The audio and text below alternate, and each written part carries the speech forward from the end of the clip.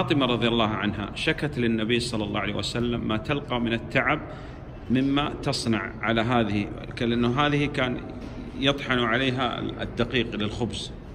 So the, um, the daughter Fatima of the Prophet ﷺ complained to the Prophet ﷺ one time from what she was afflicted by of tiredness from using something like this which is used to grind the flour that is used to make bread. نعم فأرادت من النبي صلى الله عليه وسلم أن تكون لها يعني من يخدمها في في هذا العمل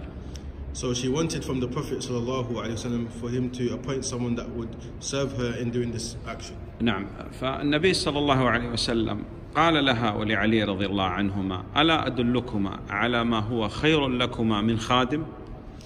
So the Prophet said to her and Ali, Should I not show you something which is the best of servants for you? هي أن تقول عند عندما تأوي إلى فراشك سبحان الله 33 والحمد لله 33 والله أكبر 34 مرة مرة هذه خير من خادم So what is better for you is that when you go to your bed that you say Subhanallah 33 times, Alhamdulillah 33 times and Allahu Akbar 33 times. That is better for you than having a servant.